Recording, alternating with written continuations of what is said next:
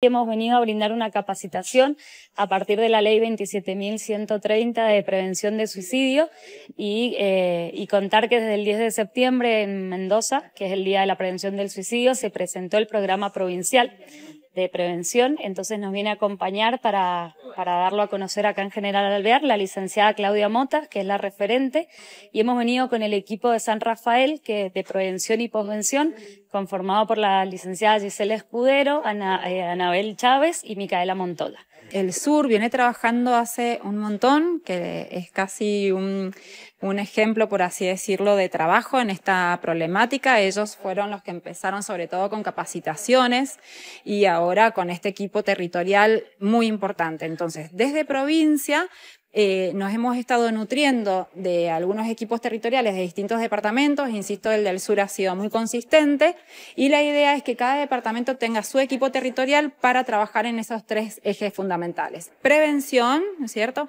Asistencia, que tiene que ver que una vez que se detecta la situación de riesgo de vida para sí, eh, hagan, se hagan las derivaciones oportunas, ¿sí? Y la posvención, que tal vez es un término que recién ahora se está escuchando en las comunidades, es que cuando ha habido, lamentablemente, un suicidio consumado, es importante acompañar a las personas más próximas, como decían mis compañeras, para transitar el duelo de la mejor manera, de la mejor manera posible con una situación compleja, ¿no?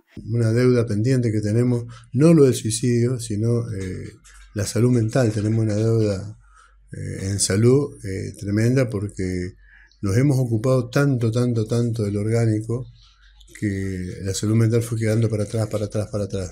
Porque el daño que hizo la pandemia, aparte de, los fallecimientos, los hábitos que tuvimos, el daño familiar, hubo un daño psicológico para todos los familiares eh, que es muy difícil de arreglar. entonces, acá están hablando de suicidio, pero es un todo. Eh, adicción, suicidio, la depresión, la cantidad de chicos deprimidos que hay en el hospital. Hace dos años está funcionando ya un programa propio del hospital que se llama Cuenta conmigo, que es nada más para menores de edad con intento de autolesión.